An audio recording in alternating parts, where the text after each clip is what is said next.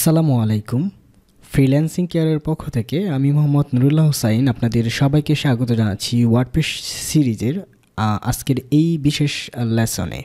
গত পর্বে আমরা জেনেছিলাম ওয়ার্ডপ্রেস অ্যাডমিন ড্যাশবোর্ড সম্পর্কে। এ পর্বে আমরা এডিটর সম্পর্কে জানব। আমরা দেখিয়েছিলাম যে কীভাবে পোস্ট করতে হয়, একটি টেস্ট পোস্ট করা হয়েছিল। আজকে আরও বিস্তারিত জানি যে কীভাবে ওয়ার্ডপ্রেস এডিটরটি আমরা ব্যবহার করতে পারি। তো চলুন যাওয়া যাক পোস্ট এডিটরের ভেতরে।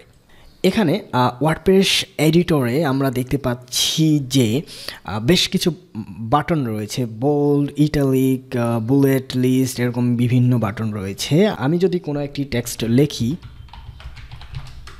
যেমন, এই ফ্রিল্যান্সিং কেয়ার কথাটিকে যদি বোল্ড করতে চাই, এখানে বোল্ডে ক্লিক করলে হয়ে যাবে। আবার যদি চাই কন্ট্রোল বি চেপেও আমরা বোল্ড করতে পারি। ঠিক একইভাবে আমরা ইটালিক আমরা লিস্টিং আমরা চাইলে ব্লক কোড আমরা চাইলে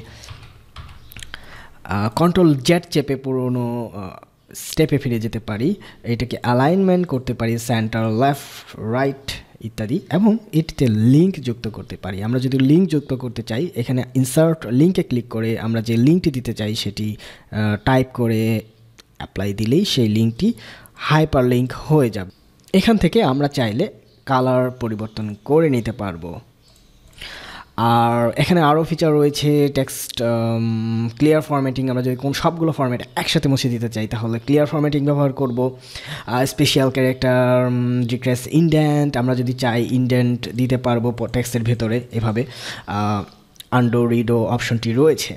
এখানে আরও স্ক্রিন অপশনে দেখা যাচ্ছে যে অ্যাক্সার্ভ তারপর হচ্ছে text trackback custom field discussion slug author ইত্যাদি আরও অপশন দেখাচ্ছে। আমি যদি চাই যে এখানে অথরটি দেখাবো, এখানে আমি ডিফাইন করে দিতে পারব যে এই পোস্টটি কোন অথরের মাধ্যমে পোস্ট হবে। আমরা চাইলে কাস্টম ফিল্ড যুক্ত করতে পারব, আমরা এখানে এক্সার্ভড অ্যাড করতে পারব, আমরা ফিচার ইমেজটাকে এখান থেকে ব্যবহার করতে পারি। যেমন এখানে যদি আমি একটি ফিচার ইমেজ ব্যবহার করতে চাই আমরা এই পোস্টটিতে একটি ফিচার ইমেজ যুক্ত করলাম। আমরা কলামটিকে ওয়ান টু যেভাবে ব্যবহার করতে চাই সেটি পারব। স্ক্রিন অপশনটি মূলত হচ্ছে যে ফিচারগুলো এখানে যদি আপনি নিচে দেখতে না পান অথর যদি না পান, তাহলে এখান থেকে চেক করে নেবেন। আর এই হচ্ছে মোটামুটি ওয়ার্ডপ্রেস অ্যাডমিন প্যানেলের যে এডিটরটি সেটি। আর আমরা যদি চাই যে এখানে একটি প্যারাগ্রাফ যুক্ত করে সেটিতে ছবি যুক্ত করব সেটি কীভাবে করব? যেমন এটি মনে করুন আমার একটি টেক্সট তো এই ট্যাক্সের ভেতরে আমি চাচ্ছি যে এখানে একটি ছবি থাকবে, তো সেটি আমরা খুব সহজেই এখানে করতে পারব। এবং ছবিটিকে আমি সেন্টার অ্যালাইন দিয়ে এইভাবে পাবলিশ করে দিতে পারব। এবার যদি পোস্টটি দেখি, এখানে। ছবিটি চলে আসলো। তো এইভাবে আমরা খুব সহজেই ওয়ার্ডপ্রেস এডিটরটিকে ব্যবহার করতে পারি। এডিটর ব্যবহার আমরা যদি চাই, এখানে হাইপার লিঙ্ক করব, সেটা পসিবল এখানে আপনার লিঙ্কটি দিয়ে দিলেই সেটি হাইপার লিঙ্ক হিসেবে ব্যবহার করতে পারবেন।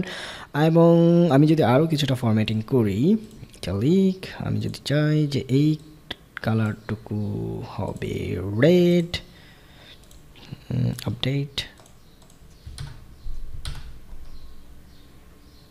হয়ে গেল।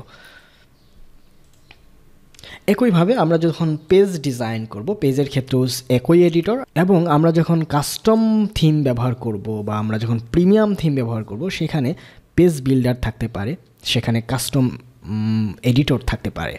এই হচ্ছে ওয়ার্ডপ্রেস অ্যাডমিন প্যানেলে এডিটরের ব্যবহার। আগামী পর্বে আমরা ওয়ার্ডপ্রেস কন্টেন্টকে পাবলিশ করার যে অ্যাডভান্স ফিচারগুলো রয়েছে, সেটি সম্পর্কে জানব।